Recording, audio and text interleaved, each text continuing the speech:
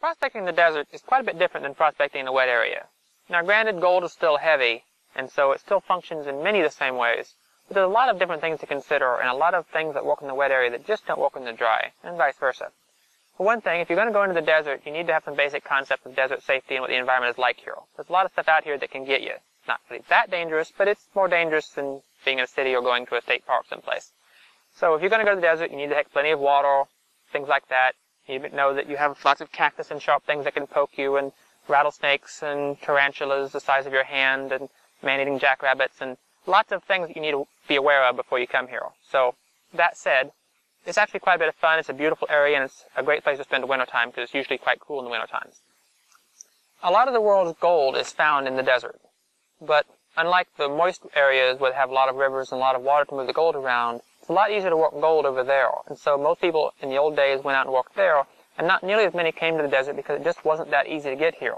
It's a remote area, there weren't good roads, there's no water. So for a prospector to come out here with a mule, I mean, he had to be pretty hardy, and he just didn't have the resources or the ability to move that much dirt.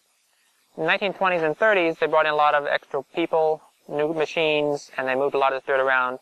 But still, the desert has not been worked anywhere near as much as, say, the gold-bearing areas in California or Alaska because the water, it makes it a lot easier to work gold on a large scale.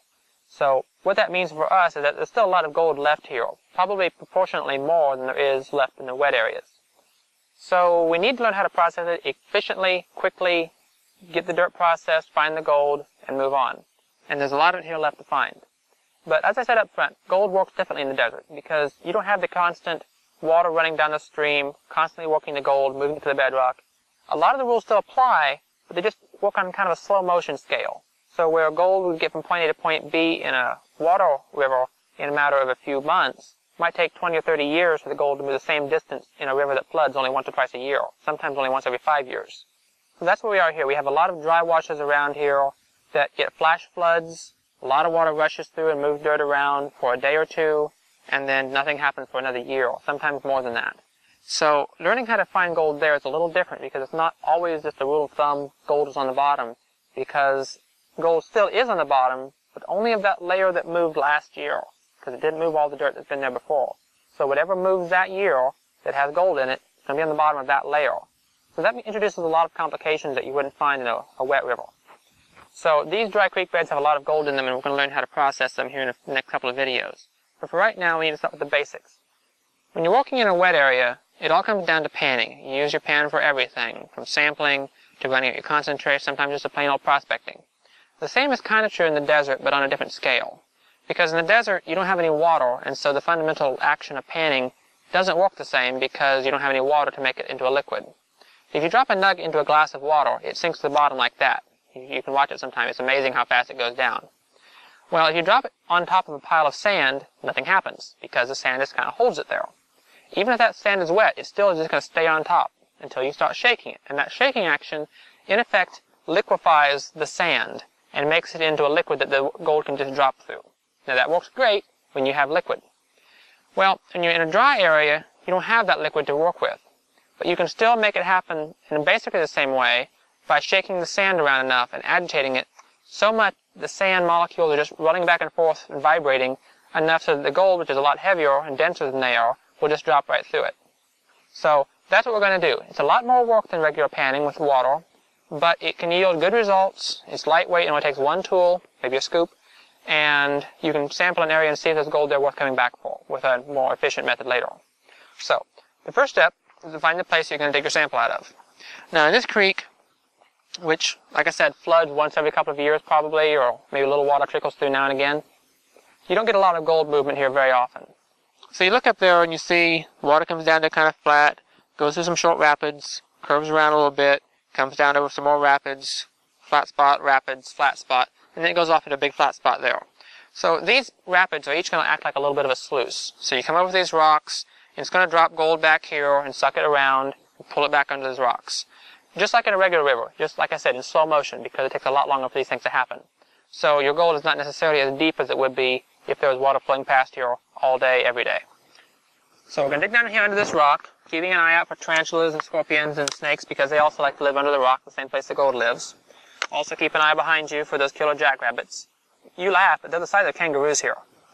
So, getting back under here, so, so we're already seeing this black sand here. And this is a very concentrated black sand. Now that's a good sign because where black sand goes, gold might go. This does not mean that there is gold here, however. All it means is that the heavy stuff dropped out here, because the black sand is the heaviest stuff in this creek next to gold. And so that means if there is gold here, this is a place it would probably have dropped. So it's a good place to look. So we're going to scrape this up and put it in here. Now, it's even more important when dry panning than it is with regular panning that you use a classifying screen, because the differences in sizes make a big difference in how the whole process works. Sometimes it's not broken up very well, and the screen will help to break it up as you rub it through the screen, make it into a finer dust, it'll work easier. So I'm going to scrape up everything here that I can find with black sand, get myself about a half a pan full. You don't want to overfill your pan, which is true of a regular pan as well, again, even more so with dry panning. So we're going to have it about half full, and then we're going to start processing it. Now you can see there's a lot of nice black sand right on this rock, and I'm going to probably pry that rock up and try to sweep the whole black sand off into here, because I don't think I can get it all up by hand. Carefully pick it up and just drop it in there. You can see how black that surface is. So if there's gold, it will be stuck down to that rock right like this. And this is a good place to have a wire brush, which is a tool you should have with you when you're out in the desert to help you scrape off anything that's stuck to rocks. And uh, whisk broom is also convenient. We'll cover those tools a little bit more in a few minutes, or maybe in the next video. That's about as good as I can get with my hand. I don't see any gold sticking out here, which is actually not impossible. Nothing there. Finish scooping this up, and then we'll start panning. So I've got a half a pan full of stuff that's been run through a quarter inch screen. And this is a good screen for this dry panning because the smaller the particles, the more efficient this is going to work. But you can run it through a quarter inch or half inch screen. It just works better the finer it is. Now, what you want to do is agitate it like this a lot, like five or ten minutes worth. You really need to get it moving around a lot to make the gold drop to the bottom. Now, ordinarily I don't salt the pan, but this is one exception because you need to see how the gold is moving in here. So you either need to put some lead shot in here so you can watch how the lead is moving because lead is half as heavy as gold, so where lead goes, gold should go as well. So you can do that, or I like to throw a couple small nuggets in here um, as bait, be able to attract some more. So in this one, I'm going to put my one piece of buckshot, two small nuggets, and one my fat nugget, and just watch what happens to them. It won't take long for them to disappear. You may be able to see them right there, or they just drop on top, but two shakes, they're already gone. So, I'm going to do this like this, and we're going to agitate it around a circle, back and forth like this, back and forth like this. Anything we can do to turn this into a liquid without actually having any liquid in it. And the other thing is that for this to work properly, this material needs to be dry, very dry.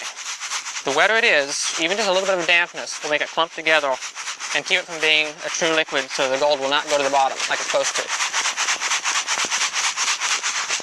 Now, since I have my own nuggets in there, and I don't want to lose them on the off chance I'm going to make a mistake here, I'm going to pan this directly from here into another pan. So, put the pan underneath me. I always travel with two pans because they're just too useful to pan back and forth and do other things that way. Putting the riffles on the downward side, which is the direction you should have been slanting all along, we're now going to tilt this so that the dirt just comes up to the edge and just starts rolling off the edge. Watch. That stuff that's coming off right now should be the lightest stuff here. Now it's also helpful if you can bang it as you go, like this, because the banging action gives you a much better vibration and much snappier movement and helps to make it a liquid even better. And you want to avoid anything that's working as a, as a mass. See, like right here, I can see it's moving back and forth a little bit. So you make sure that's shaken down so it can work through. And then very slowly, that very top edge, right up there on the front, just knock that off. As you can see, this is a tedious and labor-intensive process. And even when done perfectly, it never works as well or as efficiently as pulling out with water. Because even if you do it absolutely as best you can do it, you're still going to lose some flour gold and some flakes, but you would not lose them with water. You don't lose too much at a time. Patience is the key here. And this is where those deep riffles on some pans really come in handy. because the gold is going to be on the bottom of this and it's going to be hitting these riffles and not running out. And the farther down you get, the more you need to vibrate like this. Some people advocate scraping off the top on these pans. I don't because I don't think it really separates well enough to really trust that. You're likely to lose some gold if you do that.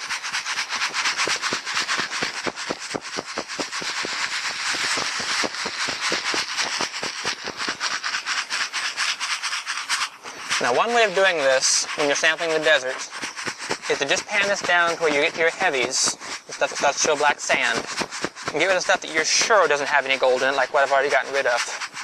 And just get a little closer to the bottom than I am right now, and then start using some water to finish it.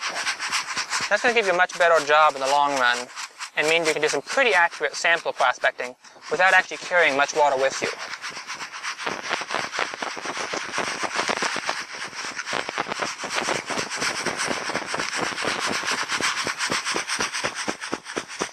So often you should resettle your stuff back to the back lip there, and then very slowly work it out. As you can see, doing this all day would be exhausting, much more so than panning in a regular creek with water. Now it's getting a little bit lighter, it's a lot easier here. So I'll move up a little faster since I can do a good bumping action each time I bang it against my hand. Now you can keep this up all the way down till you have nothing left but gold. Although, if I was going to do that, I would move from this pan with the thicker riffles down to this pan here that has riffles about half size, and then again to this one here that has riffles about a quarter size. Because as you get closer and closer to the bottom, you're going to need smaller and smaller riffles to catch the gold right. But I'm just going to go a little farther here. I can always see my big nugget bouncing around back here. And I'm already starting to see a, a majority of black sand left now. And the process is the same. You just keep going until you have nothing left. The closer you go to the end, the more likely you are to lose things, just because it just bounced over the edge. I'm going to drop it back like this. And I can already see my lead shot, my two nuggets, and my big piece of gold. And so I know they stayed in there, so if they stayed in there, I know that most of my gold stayed in there, which means I did it right. So now, I'm going to settle it down here pour just enough water out of my bottle here to cover it. It shouldn't take about half a cup or so, just to get it wet all the way through so that it can actually do a true panning process here. And now I'm going to settle it very well using the heel of my hand here to bang against. And then just wash around. I need a little more water than that. But just a little bit of water goes a long way towards making this much more efficient than just straight dry panning. Also, the other reason why you should use water at the last step is that it's very hard to see small pieces of gold in the desert without water. Something about the water magnifies the gold, makes it clearer, and without it, it's very hard to see if there's a little chunk of gold in there, unless it's an actual nugget. And so doing it without water makes it much harder to know if you're actually finding gold or not, which is the whole point. Go ahead and pick the nuggets out and move them down a ways.